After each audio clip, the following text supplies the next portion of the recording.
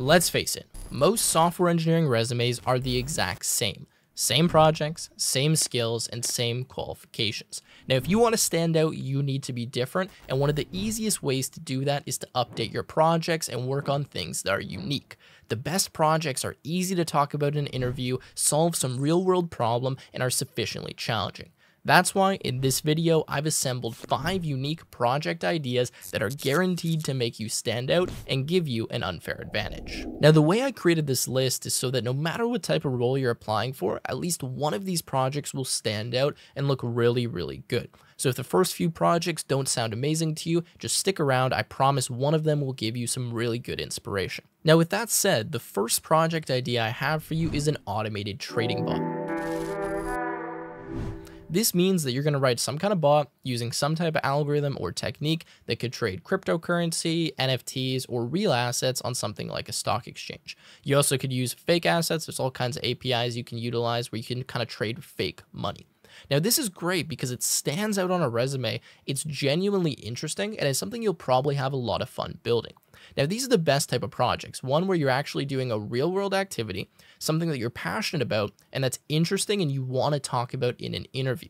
The nice thing here is that it doesn't actually have to work. It could completely fail, you could lose money, and it would still be a really great story and something that someone is genuinely interested in. If I looked at a resume and saw automated trading bot, my first question would be, how much money did you make or how much money did you lose? So it's interesting either way, and this shows that you know how to use APIs, you can build a real world application, you know how to execute some kind of algorithm or technique, so to follow instructions with code, and you know how to host the bot in a way where it's responding to some kind of events or triggers and performing some type of action. That's project number one. Really great idea. I highly recommend you give it a shot. Now, if you do build a project like that, you're going to want to be careful with your passwords, security, and credentials, so you should definitely check out NordPass, the sponsor of this video. NordPass provides the ultimate password and credential management solution, which is genuinely something I've been looking for for a very long time. I don't know about you, but I have all kinds of passwords, accounts, credentials, credit cards, etc., many of which I share with teammates, and it's a constant struggle to keep them secure, but to allow my teammates to access them quickly. Now with NordPass, you can store all of your sensitive business or personal data in a single location and securely share them with other members of your team. Now, if you don't believe me, you can try a three-month free trial using my activation code TechWithTim at the link nordpass.com slash techwithtim, which means you'll no longer need to respond to requests for shared credentials. Not to mention NordPass autofills passwords, credit card details, and more, saving you and your business time and ultimately money with additional features like password breach detection, data activity logs, password generators, access controls, and more. NordPass is the ultimate platform to not only keep you safe, but to keep you moving quickly. With over 80% of hacking incidents caused by stolen or reused login information and 81% of company data breaches being caused by weak passwords, you need to get your security under control. Now, you can do that by trying a three month free trial using my activation code TechWithTim at nordpass.com slash tech with Tim from the link in the description. Moving on to project number two, I have a sentiment analysis tool. Now this is a bit more generic, but you can really make this project pretty advanced and something that's really interesting and stands out on a resume. To start, what you would want to do is scrape something like tweets, YouTube comments, posts, Medium articles, whatever it is that you want, and you want to use natural language processing to analyze the text and determine the sentiment. So positive, negative, very positive, very negative. You can go as granular as you want. And then what you could do is actually track the trends over time. For example, you could track a specific person and you could see if their sentiment goes up or down over time based on specific events. You could track an event. You could track some keyword that's being searched on Google. You can do all kinds of great stuff here. And you could even set up the tool to track dynamic types of data.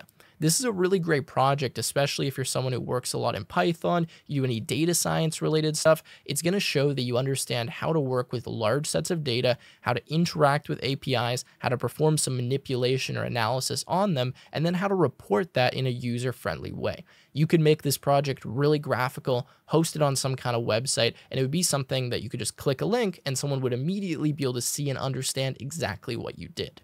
Now my next project idea is a blockchain-based voting system. Now, this is interesting because this actually illustrates that you understand large scale system design and architecture because you're building something that's running on a decentralized network. Now, obviously, if you're a Web3 developer, this is going to stand out more. However, it still looks really good even on a standard developer resume to illustrate that you understand not just Web 2, but Web 3, you're able to learn a new technology, and that you understand a bit about system design, security, dynamics, blockchain networks. I know for me that I actually learned quite a bit about coding and system design in general when I started working with Web3 technologies and blockchain because there's a whole new world of things you need to consider. First of all is security. You need to write your code in a way such that no one can hack it, no one can steal the assets. In the case of a voting system, you want to make sure things like ties are going to be handled. People can vote, people cannot vote. Some people have a higher voting share than others. So this would allow you to really talk about kind of your system knowledge, how you designed it, and it's going to be less about the coding and the implementation and more so your kind of high level architecture and design. So I think for a more mid to senior level role, this could be a great project to have on your resume and really touch on for those aspects of the job. So the next project is personally my favorite, and this is an online multiplayer game. Now, a few quick examples of ones that I've built. I did online chess, I did online Pictionary, I did an online rock, paper, scissors, I did a battleship one, and I did Agar.io, where actually like the famous game online where you have kind of the bubbles that are swallowing each other. And that one I actually had about 20 people playing at the same time. And that was super fun to see kind of all these kids that I was teaching at a summer camp playing that game. So first of all, these are super fun. I love an online multiplayer game. A lot of people can use it. You can show it to your friends and family, and it's a real app that they'll have some value in.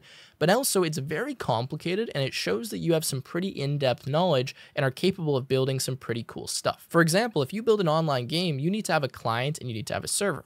That also means you need to host the server. So you're showing that you have some cloud deployment skills, you understand client server, you understand backend development and a bit of front end development and game design, you understand networking, you understand security and how to make things scalable. And if you start thinking about how do I put something online, it really forces you to do quite a bit of design decisions, right? You have to come up with some architecture, you have to figure out what's going to be done by the server, what's going to be done by the client, what kind of machine do I need, how do I make this more scalable, should I have multiple servers? There's a lot of different considerations, and it's a great thing to talk about in an interview that I think is quite impressive and really makes you stand out. Highly recommend giving this one a shot. Now, let's move on to my final project. Now, my last project idea is a computer vision related application. I'm going to give you one or two examples that I would do in terms of computer vision, but you can come up with kind of whatever you want. So the first one that I love and that I've personally built is a face detection system for a Raspberry Pi security system. Now this was really cool because I actually put this in my house at a little Raspberry Pi that I set up kind of at my door. This is when I was living with my parents. It had a camera on it and when someone came up to the door, it would identify who they were based on a face detection script and it would just notify me with like a little microphone like, you know, X is at the door, Y is at the door, whatever the name of the people. So that one was super cool. Used computer vision, used a hardware sensor, wasn't even that complicated to set up, but was a really cool project that I could talk about in an interview. And another one that I've set up is actually a cat tracker. So at one point in time, I had two cats. They looked very similar, but one cat would always steal the food of the other cat. So what I did is I set up a camera close to where the food actually was so I could track which cat was eating at which time and it would kind of notify me if one of the cats was stealing the other cat's food. So an example of a real world application that used computer vision that actually did detection of, in this case, animals. Previously, it was people. They're not that difficult to build, but they're really interesting. They look great on a resume. They're real world and something you're going to have fun building. So I recommend if you can, and if you have that kind of hardware, do some type of computer vision type task. It could be solving a Rubik's Cube with computer vision. That means you're also going to interact with some robotics components as well. Could be analyzing your backyard and seeing which stray cats hang out on your deck. That happens to me all the time. A lot of really cool applications here that are also quite visual. So if you're able to present this to someone or show it to them, they can see right away exactly what you built. Overall, those were my five project ideas. I think these are super fun, unique, and interesting, and they're definitely going to make you stand out and give you an unfair advantage.